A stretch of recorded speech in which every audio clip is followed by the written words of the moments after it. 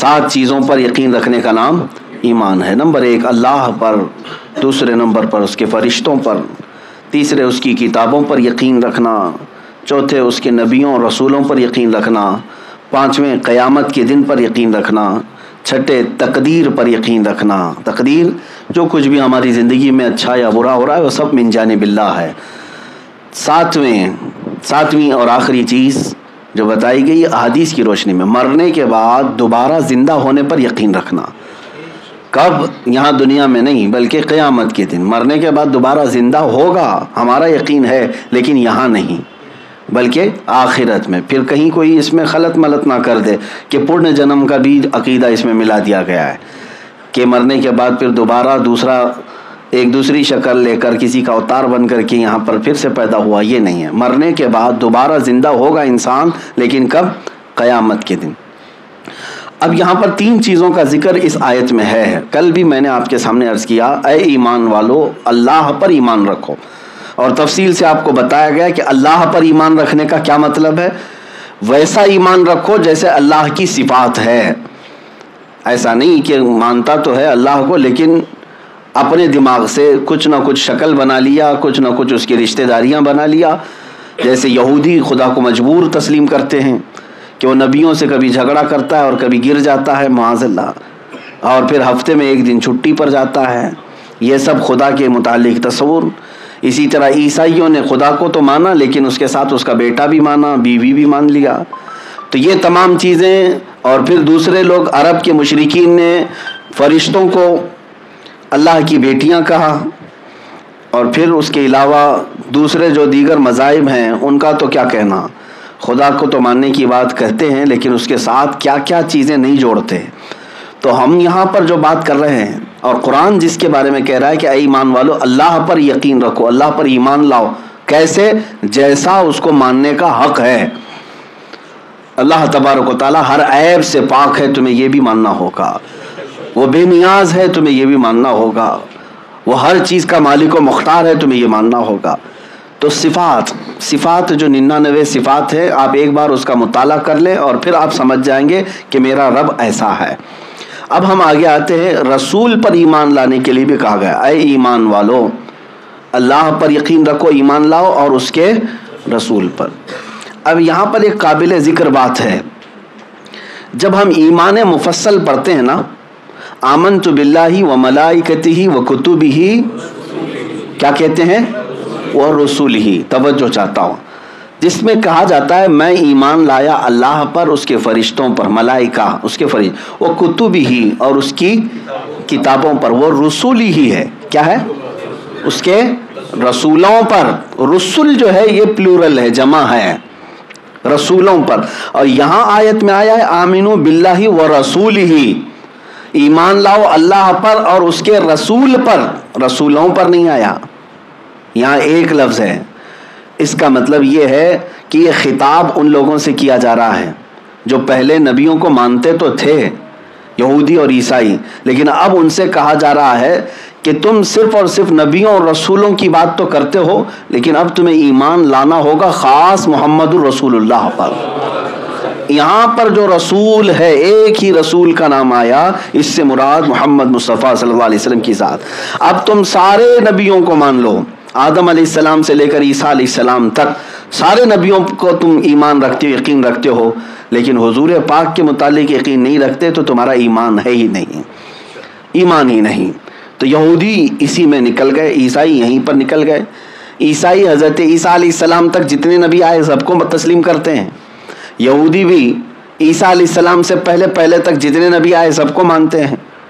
ईसा सलाम के बारे में बाज़ यहूदी मानते हैं, बाज़ नहीं मानते। लेकिन हुजूर पाक की ज़ात के मुतालिक जब बात आती है तो यहूदी और ईसाई ये दोनों काफिर हो गए, गुमराह हो गए। उन्होंने हुजूर को तस्लीम नहीं किया। ज़ाहिर सी बात है, यहूद और नसारा ये दोनों गुमराह इसलिए हुए कि सारे रसूलों की जो असल है वो हुजूर की ज़ात है। इनको छोड़कर तुम सारे नबियों पर भी ईमान लाए, तुम्हारे ईमान का कुछ भी फ़ायदा नहीं हुआ। अब यहाँ से समझ में आया कि रसूल पाक सल्लल्लाहु अलैहि वसल्लम को जो हम असले ईमान कहते हैं, वो क्यों कहते हैं? एक तरफ़ देखिए, अल्लाह को भी मान रहा है आदमी। एक लाख चौबीस हज़ार कमो बेश नबी हुजूर को छोड़कर जितने आए, उनको भी मान रहा है। बात समझ में आ रही? अल्लाह को मान रहा है। आदम सलाम से लेकर ईसा सलाम तक जितने अम्बिया है, सबको मान रहा है। सारे फरिश्तों को मान रहा है। और सारे जन्नत दोजक क़यामत के दिन को मान रहा है। ये यहूदियों में, ईसाइयों में ये सब ईमान था पहले।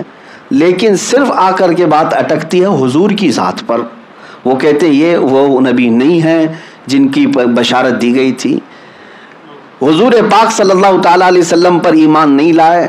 तो फिर अब खुलासा नतीजा क्या निकला? खुदा पर ईमान लाना, एक लाख चौबीस हज़ार कमो बेश नबियों पर ईमान लाना, फरिश्तों पर ईमान लाना, क़यामत के दिन पर ईमान लाना, सब बेकार हो गया। सिर्फ़ रसूल पाक की ज़ात को तस्लीम नहीं किया, सब बेकार हो गया। इसीलिए फाजिल बरेलवी रब्बा ने फरमाया ना, कुरान तो ईमान बताता है उन्हें और ईमान ये कहता है मेरी जान है ये। ईमान की जान क्या है? रसूल पाक की ज़ात है। अगर इस ज़ात को छोड़कर तुम सारी चीज़ों को मान लो, कोई मतलब नहीं है। इसीलिए इकबाल ने क्या खूब कहा? बमुस्तफ़ा बरसा खैश के दी हमा उस्त एक लफ्ज़ में इकबाल ने बहुत अच्छी बात कही कि अपने आप को हुजूर के कदमों तक पहुँचा दे, दीन पूरा वही है। दी हमा उस्त सारा का सारा दीन वही है। अब आप देख भी लें, ये कुरान आया किस पर? रसूल पाक की ज़ात पर। अगर तुम्हें हुजूर की ज़ात में शक होगा तो पूरा कुरान भी चला गया। तुम जो नमाजें पढ़ रहे हो, ये कौन बताया तुम्हें नमाजें? हुजूर पाक सल्लल्लाहु अलैहि वसल्लम ने। खान काबा की अजमत, उसकी तहारत, हज के अरकान, ये किसने बताया? हुजूर पाक ने बताया। रमज़ान में रोज़े रखने चाहिए, कब से कब तक, ये कौन बताया? हुजूर पाक ने बताया। रसूल पाक सल्लल्लाहु अलैहि वसल्लम से रिलेटेड पूरा पूरा दीन है हमारा। तुम आज जुमा की नमाजों के लिए जाते हो, किसने बताया? जुमा तुम्हारे लिए वाजिब है, फ़र्ज़ है। रसूल पाक ने बताया। ज़क़़त देते हो दूसरों के माल, दूसरों तक माल खर्च करते हो, ये किसने बताया? बल्कि तुम्हारी पैदाइश से लेकर मौत तक के सारे अहकाम अगर किसी ने बताए हैं तो किसने? मोहम्मद रसूलुल्लाह। इसीलिए इकबाल ने कहा, अपने आप को हुजूर के कदमों तक पहुँचा दे, दीन पूरा वही है। गर्ब न रसीदी तमाम अबू लहबीस और अगर तू वहाँ तक नहीं पहुँचा तो पूरी ज़िंदगी अबू लहब है। क्यों? अबू लहब बहुत करीब था हुजूर के, वहाँ तक। हुजूर सल्लल्लाहु अलैहि वसल्लम के करीब तक तो गया, लेकिन वहाँ से हजूर से वो कुछ फ़ायदा नहीं उठा सका। मेरे अजीज़ों, यहाँ पर एक नुक्ता मैं अर्ज़ करना चाहूँगा कि रसूल पाक सल्लल्लाहु अलैहि वसल्लम को अल्लाह तबारक ताली ने इस शान से पैदा फरमाया कि वो पूरी कायनात को रोशन करने के लिए आए बात सही है और आज जो हमारे ज़िंदगियों में रोशनी है, ये उसी चिराग मुस्तफ़ी की रोशनी है। लेकिन चंद मिसालों के ज़रिए से आपको बताना होगा। बाज़ लोग ये कहते हैं कि अगर अल्लाह ताला ने अपने नूर से हुजूर को पैदा किया है तो अल्लाह का नूर कुछ कम हुआ होगा। फिर हुजूर को जो उसमें से हिस्सा निकाल करके अल्लाह ने पैदा किया, और फिर हुजूर के नूर से बहुत सारी चीज़ें पैदा की। किसी ने सवाल किया, हमने कहा, मियाँ, तुम हर चीज़ को अपने दिमाग से कयास करते हो? ये आलू, प्याज, टमाटर की तरह नहीं है नूर कि एक किलो कम हो गया, दो किलो कम हो गया। उसको मैं मिसाल में यूँ बताता हूँ, एक चिराग रोशन करो। चिराग से दूसरा चिराग रोशन करो। दूसरे से तीसरा रोशन करो। हर चिराग की रोशनी इतनी है। पहले वाले चिराग की रोशनी में कोई कमी नहीं आती। नूर की बात ही अलग होती है। अब जो बात मुझे अर्ज़ करनी थी वो ये है कि रसूल तक पहुँचा दो, वहीं से तुम्हारा सब कुछ होना है। कई मरतबा ऐसा हुआ कि कुरान पाक की आयत में ये पढ़ करके आप तक पहुंचाना चाहता हूँ। और कई मरतबा जो बात आई है, वो मैं आपके सामने रख रहा हूँ। कुरान में अल्लाह ने फरमाया, इन्ना अरसलना का शाहिदन व मुबशरन व नदीरा। ए महबूब, हमने आपको गवाह बनाया है, डर सुनाने वाला, खुशखबरी देने वाला नबी। व दाइन ही व सिराजन मुनीरा। और अल्लाह की तरफ़ बुलाने वाला और रोशन चिराग बनाकर हम आपको भेजें। रोशन चिराग बनाकर के भेजें। अब चिराग का लफ्ज़ हुजूर के साथ भी आया है। अल्लाह खुद फरमा रहा है ए रसूल, हमने आपको रोशन चिराग बना अब देखिए मेरे अजीज़ों, जो बात इकबाल की है, उसकी तशरी करते हुए मैं यहाँ तक आया हूँ। इकबाल ने कहा है, अपने आप को कहाँ पहुँचाओ? हुजूर तक पहुँचाओ। हुजूर तक पहुँचाओ, दीन वही है। अब मिसाल के तौर पर हम बुझे हुए चिराग थे। हम बुझे हुए चिराग थे। हमारे अंदर रोशनी लानी थी तो कहाँ करीब करना चाहिए? असल चिराग तक जाना पड़ेगा।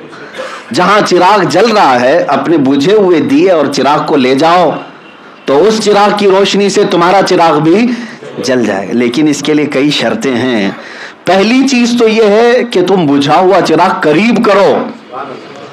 दूर से चिराग नहीं जलेगा। अपने बुझे हुए चिराग को करीब तो करो, हुजूर असले चिराग हैं, वो नूरे कायनात हैं। हम बुझा हुआ चिराग करीब करें तो हमारे दिलों का चिराग रोशन होगा। लेकिन पहली शर्त करीब करें। करीब करना भी काफ़ी नहीं है। करीब करना भी काफ़ी नहीं है, क्योंकि बुझा हुआ चिराग है और वो रोशन चिराग है। करीब हो जाने से जल जाता तो बहुत सारे वहाँ करीब रहने हुए, रहते हुए गुस्ताखों को भी हमने देखा। है है ना? करीब तो हुए, अबू जहल भी करीब रहा, अबू लहब भी करीब रहा, लेकिन चिराग रोशन नहीं हुआ। शर्त यह है कि बुझे हुए चिराग को असल रोशन चिराग के पास झुकाना पड़ेगा। बात सही है? तुम थोड़ा सा झुकाओ ताकि असल चिराग की रोशनी बुझे हुए चिराग में आ जाए।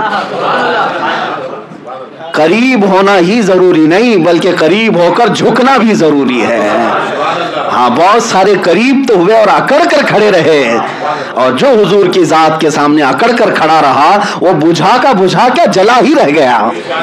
उसका चेहरा भी जला रह गया, पूरा दीन भी जला रह गया और कभी रोशनी आ नहीं सकी। हाँ वो बंदा जो अपने तस्वुरात से और अपने कल्ब से हुजूर नूर मुजस्सम सल्लल्लाहु अलैहि वसल्लम के करीब हुआ और अपने दिल को वहाँ झुका लिया तो उस चिराग की लौ इस बुझे हुए चिराग में आ गई और फिर अल्लाह ताला ने इस चिराग को भी रोशन कर दिया। और इस तरह कायनात में हजूर के उस चिराग से हज़ारों चिराग जलते रहे। अब यहाँ पर एक बात मुझे याद आती है। हमारे एक बड़े बुज़ुर्ग हैं, पाकिस्तान के रहने वाले। मैं उम्र के सफ़र में था तो मुझे उस बुज़ुर्ग ने ये बताया कि वो भी अमामा शरीफ जब बांधते थे तो इतना लंबा तुर्रा उनका भी होता था। ये जो शिमला है, खड़ा इस तरह से रहता था। और ये मुतवे बड़े जलते हैं हमारे अमामे से। इनको बड़ी तर... ये अमामा गड़ता है उनको। हाँ लाल दुपट्टा नहीं गड़ता लेकिन अमामा शरीफ बहुत गड़ता है। कई मरतबा हमें उठा करके ले जाकर खसूसी जगह पर बिठाते हैं। बहुत सारे मामला होते हैं। तो जो बुज़ुर्ग आए हुए थे, वो ज़ियारत के लिए रोज़ रसूल के पास से गुज़र रहे थे। अभी बाबू सलाम में दाखिल हुए थे। तो दो चार यही अकल के अंधे जो हर किसी को पकड़ करके सोचते हैं कि हम अपना सारा बुझा हुआ सब उनके दिल में भी डाल देंगे। कहने लगे मौली साहब, आए हो ना इंडिया पाकिस्तान के ही होंगे। अरे, हुजूर के दरबार में आए हो, इतना ऊँचा ये ताज लेकर के आए हो। हुजूर के दरबार में आए हो, इतना ऊँचा ये शिमला, इतना ऊँचा ताज लेकर के जा रहे हो, ये तो बादशाहों की अलामत है कि बड़े बड़े ताज इस तरह से पहन के आते हैं। हजूर की बारगाह में तो खादिम की हैसियत से आना चाहिए। बात तो बड़ी मीठी लग रही थी। और हमको भी ऐसा लगा कि हाँ इन्होंने बड़े पॉइंट पर नुकता, नुकते पर जो है सवाल किया। लेकिन अल्लाह वाले और रसूल पाक के ग़ुलामों का हाल ही कुछ और है। उन्होंने कहा कि बिल्कुल सही कहा आपने, ताज हम पहन करके आए हैं, लेकिन अभी हम जा रहे हैं रोज़े के पास, जब सर झुकेगा तो ताज भी झुक जाएगा। ये सारा तुर्रा ये सारा ताज झुक जाएगा जब रोज़े के सामने हम जाएँगे। सर सोए रोजा झुका फिर तुझको क्या? आला हज़रत फाजिल बरेलवी अल्लाह ने फरमाया, बहरहाल, बात यहाँ पर यह है कि अपने आप को उस रसूल तक पहुँचा दो, यही दीन है। यही दीन है। और अपने बुझे हुए चिराग को रोशन करना है तो करीब होना होगा और अपने बुझे हुए चिराग को थोड़ा सा झुकाना भी होगा। यूँ कहना होगा, मैं मुजरिम हूँ आखा, मुझे साथ ले लो। ये नहीं कि तुम वहाँ जाकर कहो, उम्मती भी रसूल के बराबर हो जाता है। माजल्ला रबालमीन वो तो हमारे बड़े भाई की तरह थे रसूल। वो आम लोगों की तरह खाते पीते थे। जब ये कहोगे, तुम अड़े हुए हो, खड़े हुए हो, अकड़े हुए हो, बारगाह मुस्तफ़ा में आने वालों का हाल तो ये था नफस गुम करदा मियाँ आयत जुने दो बाजीद इंजा जुनेद बगदादी और बायजीद बुस्तामी जब वहाँ आते थे, सांसों को रोक लेते थे। सांसों को रोक लेते थे, रोज़े के सामने कहते थे कि हमारी निकलने वाली सांसों से कभी रोज़े की बेदबी ना हो जाए। हाँ बड़े बड़ों का हाल तो ये था। वहाँ पर ताजदारों को भी देखा। आला हज़रत फाजिल बरेलवी ने क्या खूब कहा, मैं उस गली का गदा हूँ, मैं जिसमें मांगते ताजदार फिरते हैं। उस गली का गदा हूँ, मैं जिसमें मांगते ताजदार फिरते हैं। अरे, मंगता तो है, मंगता कोई शाहों में दिखा दो, जिसको मेरे सरकार से टुकड़ा ना मिला हो। बड़े बड़े वहाँ पर खम नज़र आते हैं सर खमीदा नज़र आते हैं, आजीजी ज़रूरी है। तो यहाँ पर आयत करीमा के इस लफ्ज़ पर मैं बात कर रहा था ए ईमान वालो, ईमान लाओ अल्लाह पर और उसके रसूल पर। उसके रसूल पर। यहाँ रसूल से मुराद मोहम्मद मुस्तफ़ा सल्लल्लाहु अलैहि वसल्लम की ज़ात है। अब ये ख़िताब सारे यहूदियों, ईसाइयों, सारे लोगों के लिए भी है, जो पहले ईमान रखते थे अल्लाह और उसके रसूलों पर। अब उनसे कहा जा रहा है, अब तुम इस रसूल पर ईमान लाओ, तभी तुम्हारी फलाह है, तभी तुम्हारी नजात है। वरना अगर तुम ये कहोगे कि हमारे लिए वो नबी और वो रसूल काफ़ी हैं तो तुम्हारा ईमान नफ़ा नहीं देगा। हुजूर के आने के बाद सब पर हुजूर पर ईमान लाना ज़रूरी हो गया। अः मुसलमानों, अब मैं आपकी तरफ़ आता हूँ।